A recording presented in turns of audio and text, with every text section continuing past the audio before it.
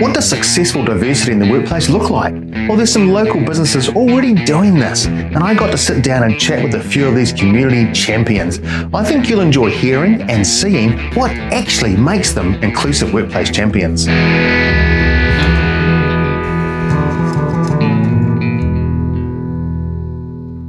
Hi, I'm Tony McNeil, and I'm at ANZCO Foods, Seafield Road, Ashburton.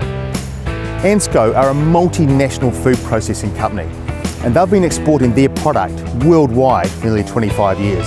We're in the Ashburton district and we're showcasing welcoming and inclusive workplaces. Today we're lucky enough to be talking to Peter Hislop, who's going to take us through all the diversity that is ANZCO. Let's go. Hi, hey, Peter. Tony, welcome to ANZCO. Thank you. Thanks for having us. Hi, Hello. How are you? Good, thank you. Come on, So Peter, thanks so much for having us here today. So my first question, ANZCO, tell us a bit about the background. Uh, ANZCO started in 96. The company started with a lamb and beef operation um, and it's steadily grown uh, to now the, a stage where we employ almost a thousand people on site. ANZCO as a group, as the total group, employ about 3,000 people worldwide, processing beef and lamb for the world market. Uh, top end, high quality produce. Um, a little bit of that is having the right people doing with the right skill base, doing the right job. An ANZCO house, the five pillars of the ANZCO house, the first pillar is people. So our investment or our, our main focus is getting the people, the right people for the job as opposed to the first bloke through the gate and then giving them the skills to grow. We've got a very good retention of staff. We now have probably a, a huge part of our workforce spread right through all departments and um, all levels of um, Pacific Islanders and uh, we're at a stage now where we're getting second generation, um, those children from our first from our first trips into the islands um, and I find that very, very rewarding. Can I ask, obviously that's from the Samoan quota? Yes. Okay, yes. Which, is a, which is a ballot system that we have to recruit out of the islands? It is. We, we hold gold status in Samoa okay. for recruitment. So one further question, I'm thinking a thousand staff and you know you've, you've got Pacifica workers, so Tell me about the other parts of the equation. So we have Romanians, Filipinos, South Africans, um, and of course all Kiwis from all walks of life. So uh, yeah, very rewarding, and it's it's probably given us the diversity has helped, and I think it's it's also helped in people's personal lives. You know, their children going to going to uh, school, growing up in school with um, people from all walks of life, not only but all parts of the world and I think that's been very enlightening for our workforce. Um, they work very, very well together and I think they actually have a pride in working here. How does that happen? How does it enhance when you've got people from different backgrounds? Probably meeting people they wouldn't normally uh, in other jobs, smaller, perhaps smaller work environments and that. Um, you tend to stick within your little groups. So I think it's been very, very good. They work and make friends with the guys they work with and then meet their families at social events and you know, it just flows on from there. So a lot of personal growth as well and that's that's for everyone. Everybody who comes here has the ability or the chance, opportunity to become a, a grade butcher. Correct. So everybody that joins the company goes through the uh, gets unit standards, an NZITO program, um, where they'll initially start with just the basics, and it builds their skill base up, and you can go right up to level five, which is um, you know as it works progresses through. Um, the, the easier or the basic jobs through to the boning, trimming and continues right up to equivalent to a shop butcher and that's recognised all over the world so if the guys ever want to travel um, this, you know, it's just a matter of hopping on the computer, popping in your ID number and here's all your qualifications ready to go. Giving them as much information when they come, um, you know, people need to know that they're working in a safe work environment. Um, huge health and safety conscious on site uh, we have the Home Safe Work Safe program, so it's not just about having people turn up to work, it's making sure they arrive in a good state, a good, a good sound state of mind and, and ready to work and that we make sure we get them home safe.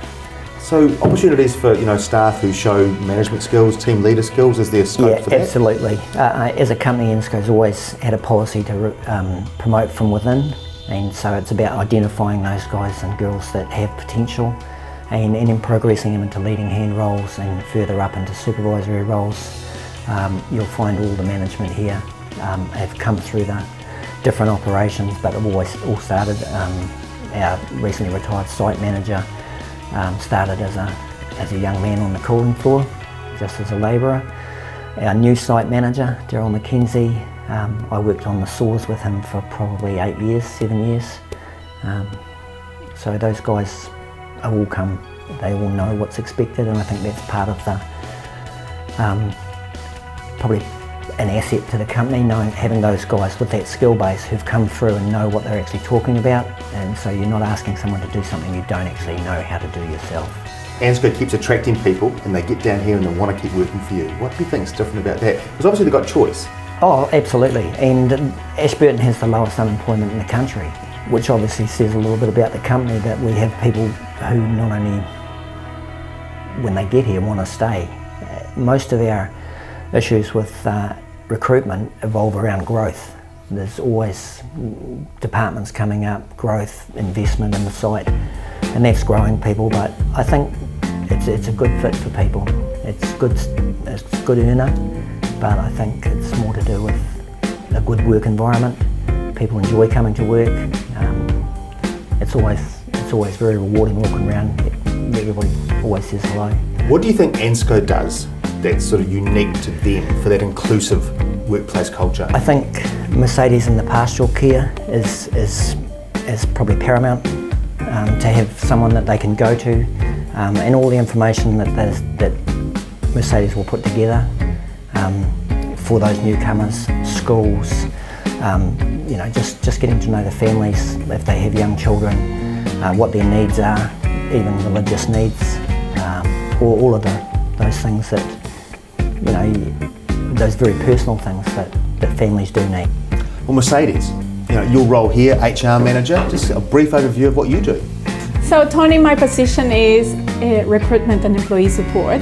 I am in charge of going and pick up the um, to the airport to pick up the new Samoan employees, bring them into town, find them where to live, um, help them with um, medical services, open their bank accounts, getting their IRD sorted, and also um, helping them with all the information I can gather for them for them to settle into town. That's a big job when you're talking about one person coming to work for you. But when they bring their, their partner, wife, husband, and children, I guess you have to care about what the family's doing too. A lot of studies have shown that when someone goes to a new country, you have that honeymoon period. You know, you start, everything's new, it's exciting, then it becomes winter and it gets very cold. And sometimes that you can just drop down into a lull. And so how do you work out if someone's possibly, you know, not coping at work or you're picking up some um, productivity issues. How do you keep tabs on that? We try to keep ourselves very approachable. The supervisors, the managers, myself, we try to keep that communication channel open so they can reach to us whenever they feel like they need help. Also through sports, it's very easy for them to get involved in the community, but not only that, they make friends with someone else and they can reach out to them too. So, if you had advice for other businesses who were in the same sort of environment, you know, what would be some key takeouts or learnings that they should take away from this conversation? I, I think look at the bigger picture and look down the track a wee bit and invest in your people. Um, it's all very well to buy a new machine, but if you're not investing in the people, giving them the, the skills they need, uh, then you're just never going to you're never going to grow. Peter, thank you so much for that information. It's you're most welcome, Tony. Really most welcome. That. Thank you. Cheers.